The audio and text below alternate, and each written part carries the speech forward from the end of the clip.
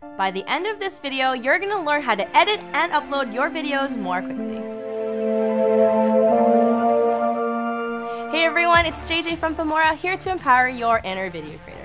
And in this video, I'm going to show you the time-saving features that we've added in Filmora 9.3, as well as some ways that you can optimize your editing process.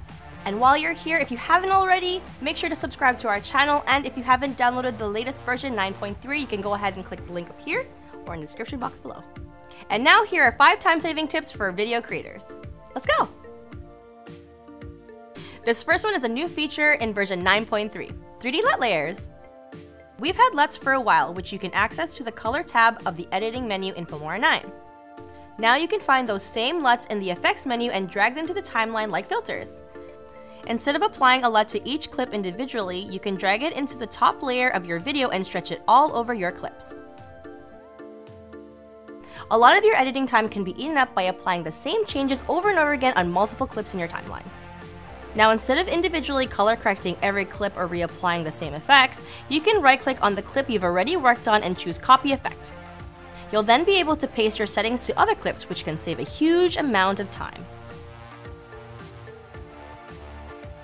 If you open the Help menu in Filmora 9 and click on Keyboard Shortcuts, you'll be taken to the page where you can learn all of Filmora 9's hotkeys. So learning about these hotkeys may take some time, but once you get the hang of them, you'll save a ton of time while you're editing.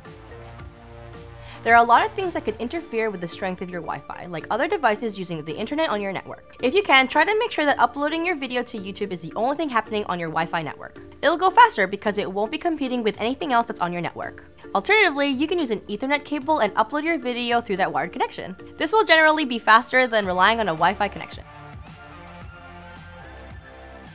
Chances are you're repeating a lot of the same things in your video descriptions, like your social media accounts, for example. If you have a distinct niche for your video, like gaming or beauty, you're also probably using the same tags. Instead of typing these things fresh for each video, you can set the default so they can automatically apply for each video.